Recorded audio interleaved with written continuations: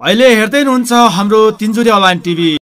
आदरणीय दर्शकबिन इन्द्रेणी कार्यक्रममा ठुलो भुइँचालो आएको छ र धक्का लागेको छ।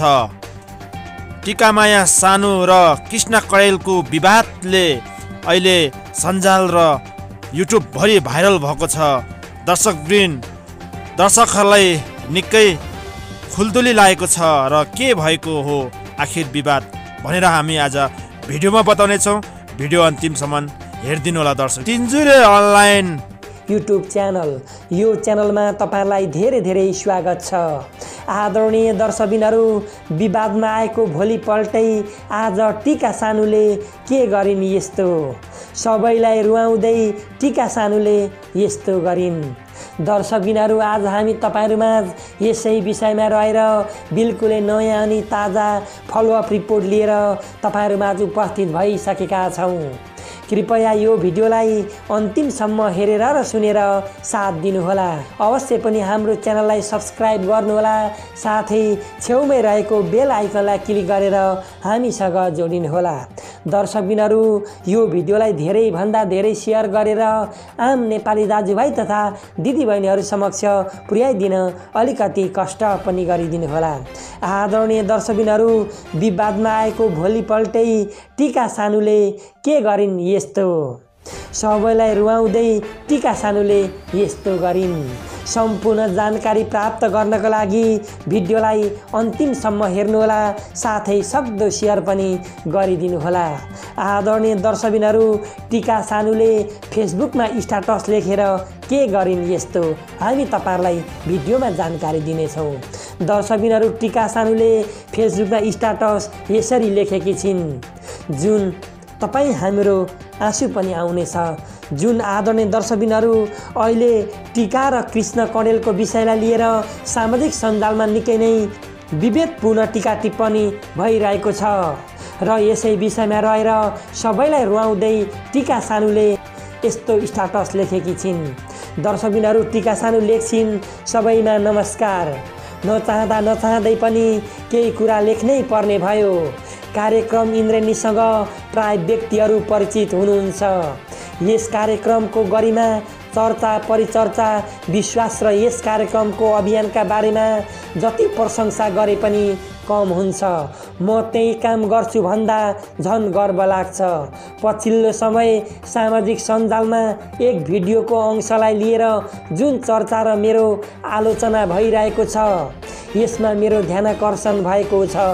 उक्त भिडियोमा मैले बोलेका केही राम्रा कुराहरू थिए। विडम्बना ती कुराहरू सबै आएको पाइएको छैन। जुन कुरा भाइरल भएका छन् ती कुराहरू प्रचार गर्न लायक छैनन्। तर त्यो भिडियोमा सोझो रूपमा कार्यक्रमका बारेमा परिचित थिएन भन्दा घमण्ड कसरी हुन्छ? कुनै पनि संस्था र त्यसमा आबद्ध कर्मचारीहरू एक अर्कामा परिपूरक हुन्छन् भन्दा के बिराए? मैले इन्द्रेणीको कार्यक्रमका क्रममा सहरदेखि गाउँ बस्तीका भिर पाखा धाएकी छु। बिसौँ जोर जुत्ता चप्पल फटाएकी छु। केही पाएकी छु केही गुमाएकी छु। जुन प्रक्रिया चलिरहने प्रक्रिया पनि हो। मलाई आजको दिनसम्म ल्याउनुमा इन्द्रेणी कार्यक्रमले कुनै योगदान दिएको छैन भनेर कहीँ भनेकी छु र कलाकार र संस्था बिचको सम्बन्ध परिपूरक हुन्छ भन्नु गलत हो। खैर इन्द्रेणी कार्यक्रमका सञ्चालक आदरणीय दाजु कृष्ण प्रसाद कौडेलज्यू यतिखेर पूर्व इलाममा हुनुहुन्छ। उहाँ काठमाडौँ आउन साथ यो विषयमा थप प्रश्न पार्नेछौँ। साथै अर्को कुरा पुराना भिडियो काटेर पोस्ट गरेर मेरो चरित्र हत्या गर्ने तनाव दिने जातीय रङ्ग दलेर गाली गर्नेहरूलाई मेरो भन्नु केही छैन। सत्य बुझ्नलाई सचेतना चाहिन्छ। नोट कृष्ण दाई र मेरो बिचमा कुनै मतान्तर र मनमुटाप छैन भनेर टिका सानुले आफ्नो फेसबुक स्टाटसमा लेखेकी छिन्। आदरणीय दर्शकबिनहरू जुन आउनु पर्ने भिडियो थियो त्यो सम्पूर्ण भिडियो आएको छैन तर त्यो भिडियोलाई एडिट गरेर काटेर हाम्रो मेरो र कृष्ण कण्डेल दाईको चरित्र हत्या गर्ने गरी भिडियो आएको छ। तर त्यो एकदमै मैले कुनै पनि गलत बोलेको छैन। इन्द्रेणीले जति काम गरेको छ जति योगदान दिएको छ जसरी समाजमा दुखी पीडितहरूलाई सहयोग गरेको छ त्यो एकदमै सराहनीय छ। तर यसरी बिसौँ वर्षसम्म यसरी इन्द्रनीले काम गरेको कहिले पनि देखेनन्। हामीले राम्रो काम गरेको कहिले पनि देखेनन्। तर भिडियोलाई काटेर जसरी एडिट गरेर हाम्रो चरित्र हत्या गर्ने गरी इन्द्रनीलाई बदनाम गर्ने गरी यो भिडियो आएको छ। यसमा मलाई दुःख लागेको छ भनेर टिका सानुले भनेकी छिन्। राम्रो कुरा गर्दाखेरि राम्रो काम गर्दाखेरि कसैले पनि सुन्दैन। तर भिडियो काटेर जसरी मलाई जातीयताको रङ दिँदै आलोचनाहरू गरिएको छ मैले केही पनि गल्ती गरेकी छुइनँ म इन्द्रेणीबाट टाढा भएकी पनि छैन र म इन्द्रेणीमै रहन्छु भन्दै टिका सानुले बताएकी छिन्। यसै क्रममा आदरणीय दर्शकबिनहरू टिका सानु भन्छन् कृष्ण दाई र मेरो बिचमा कुनै पनि मतन्तार र मनमुटा भएको छैन। हामीले कहिले पनि इन्द्रेणीको गुण भुल्ने छैनौँ। आदरणीय दर्शकबिनहरू यसरी टिका सानुले आफ्नो फेसबुकमा स्टाटस लेखेर सबैलाई रुवाउँदै यस्तो भनेकी छिन्। तपाईँहरू नचाहिँदो कुराहरूतर्फ मात्रै अगाडि बढ्नुहुन्छ भाइरल बनाउनुहुन्छ। हामीले जसरी गरिब दुखी पीडितहरूलाई राहत बाँड्छौँ दुखी पीडितहरूको जसको चुलोमा आगो बलेको छैन त्यस्ता व्यक्तिहरूलाई हामीले सहयोग गरेका छौँ त्यो तपाईँहरूले देख्नु भएको छैन। तर जसरी नराम्रो कुरालाई चाहिँ लिएर तपाईँहरूले भाइरल बनाउनुहुन्छ राम्रो काम गरेको चाहिँ देख्नु भएन। जसरी यो भिडियोमा आउनुपर्ने कुराहरू थिए ती सम्पूर्ण कुराहरू आएका छैनन्। तर जसरी हामीलाई बदनाम गरेर बदनाम गर्ने गरी यो भिडियो एडिट गरेर आएको छ यसको सम्पूर्ण भाग आएको छैन भन्दै टिका सानुले खेत प्रकट गरेकी छिन्। र अहिले कृष्ण कडेल आदरणीय दाजु उहाँ इलाममा हुनुहुन्छ। उहाँ काठमाडौँ आउन साथ हामी यसको बारेमा सम्पूर्ण स्पष्टीकरण दिनेछौँ भनेर टिका सानुले बताएकी छिन्। आदरणीय दर्शकबिनहरू टिका सानुले भनेकी छिन् पछिल्लो समय सामाजिक सञ्जालमा एक भिडियोको अंशलाई लिएर जुन चर्चा र मेरो आलोचना भइरहेको छ यसमा मेरो ध्यानकर्षण भएको छ। उक्त भिडियोमा मैले बोलेका केही राम्रा कुराहरू पनि थिए। जुन कुराहरू राखिएको छैन। जुन नराम्रा कुराहरू केही केही बदनाम गर्ने हिसाबले जुन एडिट गरेर आएको पाइएको छ। जुन राम्रा कुराहरू थिए विडम्बना त्यो कुराहरू सबै आएको पाइएको छैन। जुन कुरा भाइरल भएका छन् ती कुराहरू प्रचार गर्न लायक पनि छैनन्। तर त्यो भिडियोमा सोझो रूपमा कार्यक्रमका बारेमा परिचित थिएन भन्दा घमण्ड कसरी हुन्छ? कुनै पनि संस्था र त्यसमा आबद्ध कर्मचारीहरू एक अर्कामा परिपूरक हुन्छन् भन्दा के बिराए मैले इन्द्रेणीको कार्यक्रमका क्रममा सहरदेखि गाउँ बस्तीका भिरपाखा धाएकी छु। बिसौँ जोर जुत्ता चप्पल फटाएकी छु। केही पाएकी छु केही गुमाएकी छु। जुन प्रक्रिया चलिरहने प्रक्रिया पनि हो।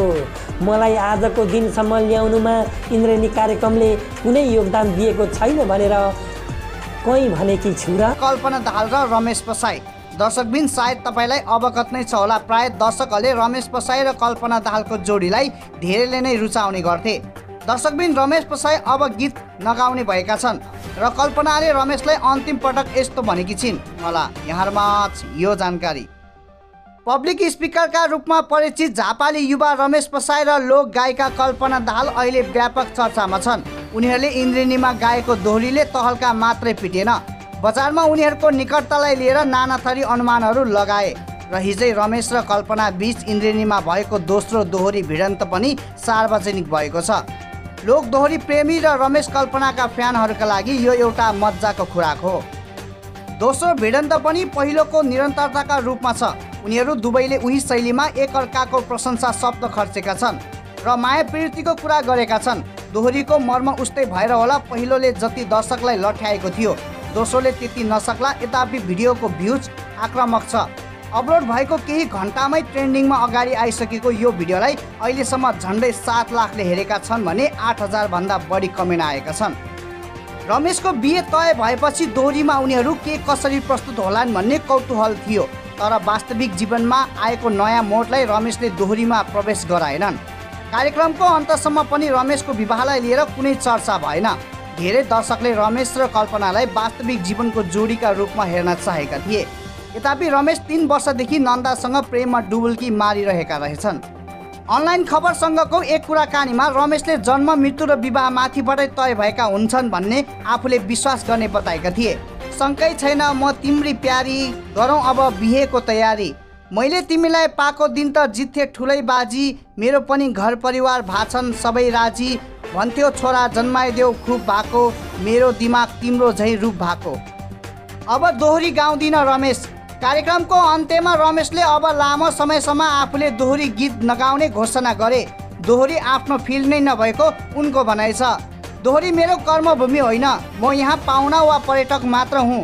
के छ भनेर घुम्दै आएको उनले भने मैले त यही इन्द्रेणीको स्टेजबाट नेकपा र काङ्ग्रेसका नेताहरूलाई डाकेर बिपी कोइराला र मदन भण्डारीको याद दिलाउनु छ। फाटेका मनहरू सिलाउनु छ। विप्लव र अन्य तत्त्वहरूको असन्तुष्टिका कारणहरू खोज्नु छ। ललिता निवासको जग्गा खोज्नु छ। दोहोरी त मेरो सोख मात्र हो। कल्पनाजीको र मेरो गायन मिल्यो रसायन मिल्यो। यो संयोजनका लागि कृष्ण कलेल दाईलाई धन्यवाद। अब म लामो समय दोहोरी नगाउने घोषणा गर्न चाहन्छु। अब व्यक्तित्व क्षमताका कारण पलस कमाएका रमेशलाई पछिल्लो समय रिङ्के बुङको रागो बोलको गीतले चर्चामा ल्याएको छ। उनी पछिल्लो समय इन्द्रिणीमा समेत आबद्ध छन्। नन्दा भने समाजसेवामा छिन्। उनले काठमाडौँमा बाल आश्रम चलाइरहेकी छन्। नन्द र रमेश बिच तिन वर्षदेखि गहिरो प्रेम सम्बन्ध रहेको छ। नन्दलाई रमेशले प्रेम प्रस्ताव राखेका थिए। आफ्ना अभिव्यक्तिका कारण सामाजिक सञ्जालहरूमा धेरै चर्चामा रहने रमेश पसाई अहिले फरक परिचयका साथमा युट्युबमा छाएका छन्। पूर्वी नेपालमा एक रेडियो पत्रकारको रूपमा स्थापित भएको दुवै आँखा देख्न नसक्ने युवक रमेश व्यक्तित्व क्षमताका कारण नेपालभरि परिचित छन्। उनी मोटिभेसनल ट्रेनरका रूपमा थुप्रै जिल्लामा समेत पुगिसकेका छन्। राष्ट्र र राष्ट्रियताको विषयमा आफ्नो अभिव्यक्ति दिने रमेश स्पष्ट वक्ता मृदुभाषी र विभिन्न भाषाको ज्ञान भएका युवक पनि हुन्। यिनै रमेश अहिले दोहोरी गायकका रूपमा चर्चामा छन्। एउटा टेलिभिजन कार्यक्रम इन्द्रेणीमा रमेशले गाएको दोहोरी गीत निरन्तर ट्रेन्डिङमा छ।